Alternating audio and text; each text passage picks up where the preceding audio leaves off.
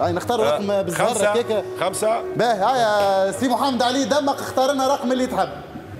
رقم اثنين قمت بتجربة في الزواج وزوجتك مش من الميدان الفني ولكن ما توصلتش نقولوا مكتوب. المرة الجاية تخمم تعرس من الوسط الفني.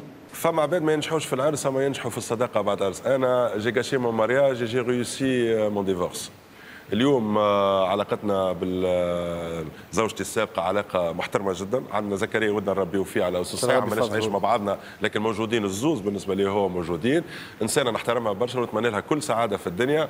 وتجربتنا الله غالب ما توصلتش لكن هذا ما يعنيش إنه فما خلل من الاثنين. إحنا الزوز مسؤولين إحنا الزوز ما نعرفش شنو اللي صار لكن آه نكون لها برشا احترام ونوجه لها تحية ونقول لها تبارك على زكريا. هذه حاجة.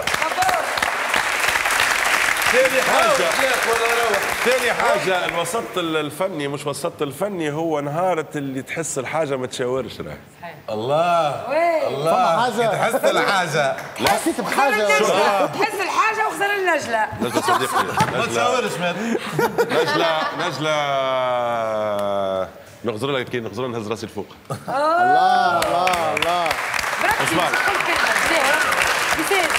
حاجة نحس فيها. ما كملتش راهو. سامحني يا معز شوف نقول. حنان نحيا في المونتاج. إيش نقول لك message نحاها بعد ما نقولها تو قدام العباد الكل. يا معز راني كي شفتك شميت عليك ريحة آه، période معناها إحنا في المسرح في اللي زاد راهو ما نقراوش مسرح هكا جديدة.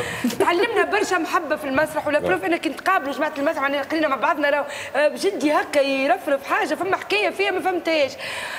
حنان ترفرف. بعد الحلقة نفسرها لك حنان في. ترفرف. الله الله. موت عليك يا معز حنان ترفرف. الله